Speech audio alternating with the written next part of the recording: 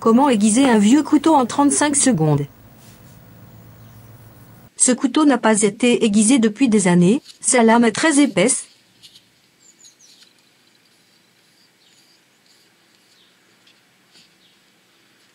Ce couteau n'est même plus capable de couper un citron vert.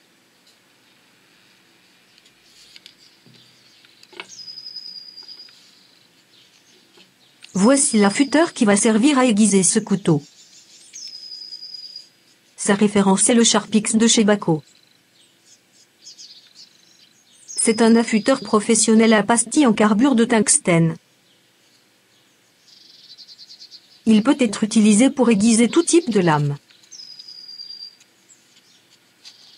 5 passages d'un côté et un passage de l'autre suffit si vous aiguisez votre couteau tous les 6 mois.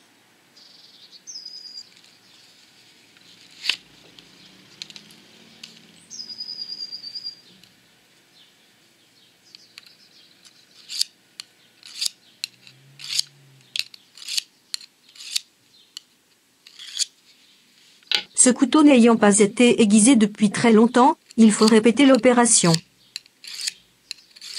La poignée de l'affûteur bimatière est très confortable et évite aux doigts de glisser sur la partie coupante, ce qui est très sécurisant.